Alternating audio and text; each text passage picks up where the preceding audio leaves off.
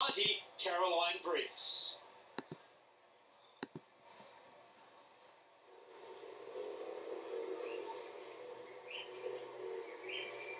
Wamajika means welcome. And in my language, it's Wamajika, Marabiki, Nende, Dwarapton, Ata, Willa. That means welcome to our beautiful home. Dwarapton, Ata, Willa. That means welcome to our beautiful home. The lands about you, Great Bay. Nern being Port Phillip Bay, and Narran being Western Port Bay. When you come to this land with our sacred grounds, it is learning, paying respect, and it is about a celebration. The Rugby League World Cup will be hosted here in Melbourne on our sacred ground. So, Biranga, welcome to our beautiful home.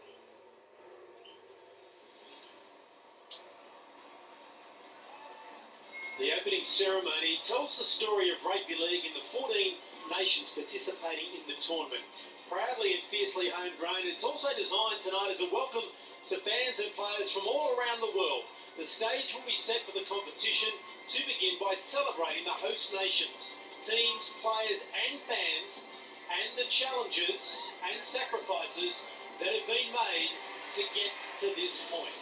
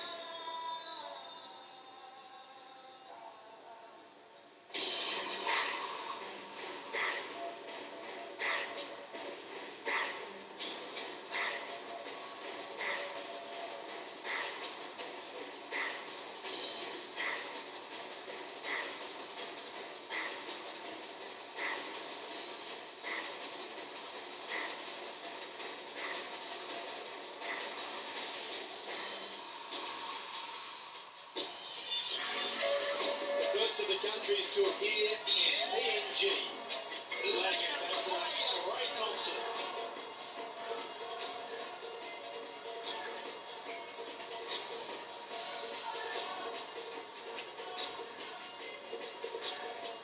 The only country in the world where rugby league is the national sport is Papua New Guinea, one of the host nations for 2017.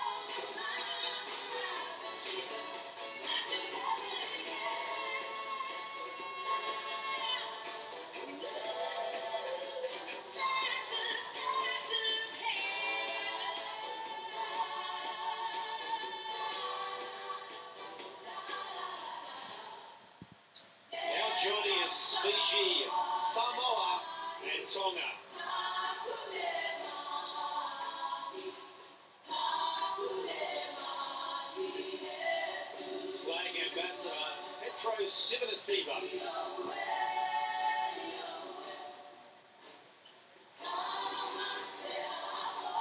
Petero played six tests for Fiji, of course 45 for Australia.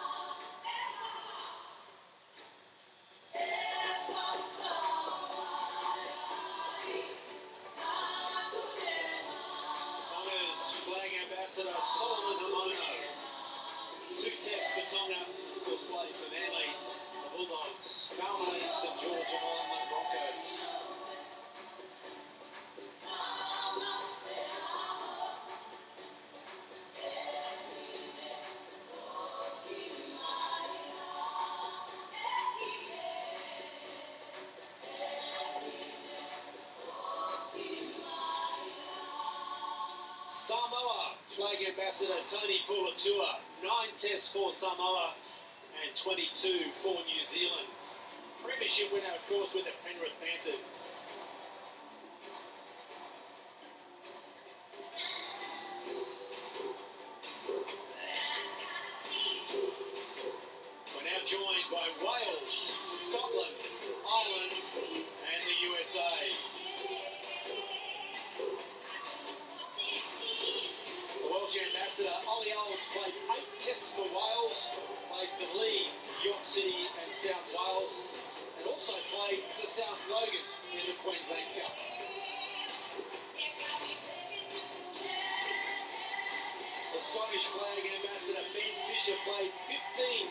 15 matches for Scotland, played for North Sydney Roosters, Halifax Hulls, Caplans, and London Broncos.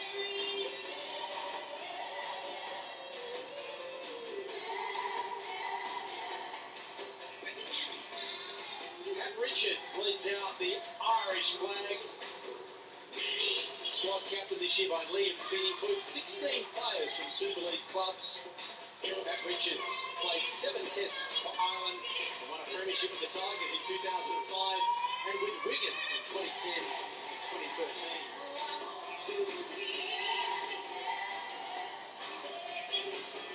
The United States of America, their flag ambassador Clint Newton, who was born in South Carolina, USA. He played four tests for the USA distinguished career with the Knights, the Melbourne Storm, Hull, and Penrith.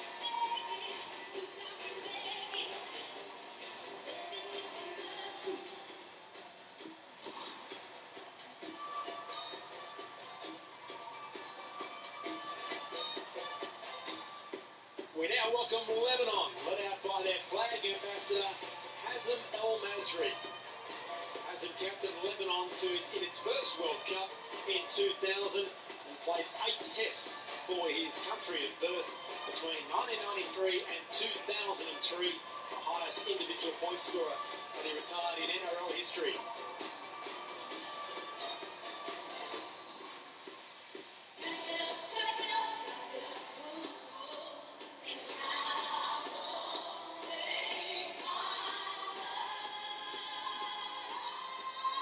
It's time now for Italy. David Riolo, their flag ambassador. Uh, it's the second World Cup for Italy.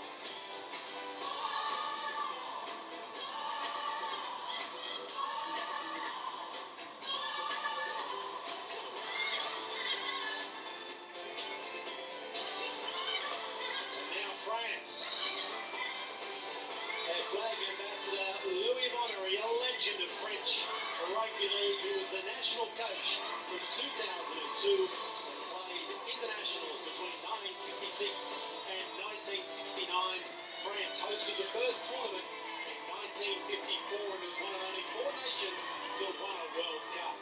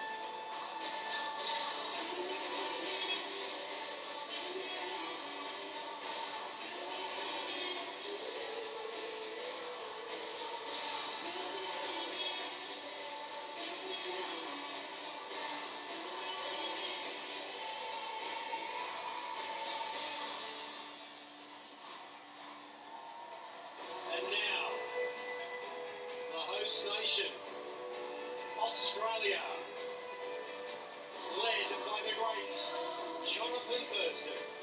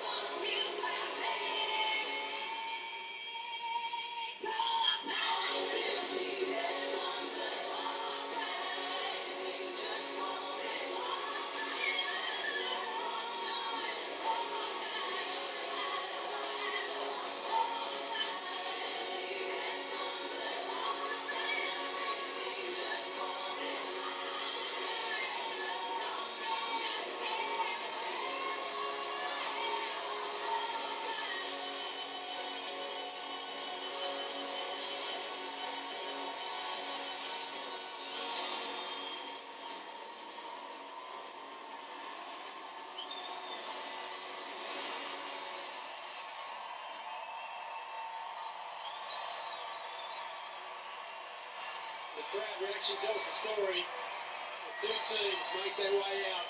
The World Cup is about to start. Our national anthems, the England anthem, will be sung by Amber Dawn Finch, to be followed by the Australian anthem, Robin McDougall. Be for the national anthems of England and Australia.